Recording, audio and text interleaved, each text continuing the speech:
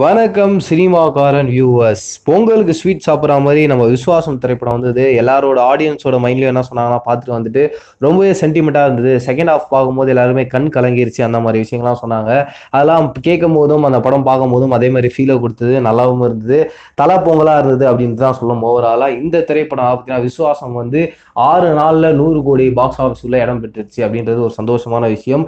இது மட்டும் இல்லாமல் இது அஃபிஷியலாக அவங்க சத்யஜோதி ஃபிலிம்ஸே கன்ஃபார்ம் பண்ணியிருக்காங்க. இதெல்லாம் தாண்டி நேத்து ட்விட்டர் வலைத்தளங்களில் ஃபுல்லாவே பரபரப்பா பேசிட்டு இருந்தாங்க. நம்ம விஸ்வாசம் திரைப்படம் வந்து நூறு கோடி அடிச்சிருச்சுன்னு அப்படின்றத. இதை கேட்கும் போதே ரொம்ப சந்தோஷமா இருந்தது. இது மட்டும் இல்லாம இது வந்து ரொம்பவே கம்மியான டைம் பீரியட்ல வந்து ஒரு நூறு கோடி அடிச்சிருக்கேன்னு பார்த்தீங்கன்னா பாத்தீங்கன்னா ஒரு ரெண்டு பெரிய படங்கள் வந்தது. அதுல வந்து ஒரு ஆறு நாள்ல ஒரு நூறு கோடி அடிக்கின்றது ஒரு பெரிய விஷயம். அதை நம்ம விசுவாசம் வந்து கிரியேட் பண்ணியிருக்கு அப்படின்றது ரொம்பவே சந்தோஷமா இருந்தது. இந்த மாதிரி நீங்க சினிமா அப்டேட்ஸ்லாம் உடனுக்குடன் தெரிஞ்சுக்கணும்னா நம்ம சினிமாக்காரனை வந்து சப்ஸ்கிரைப் பண்ணிடுங்க.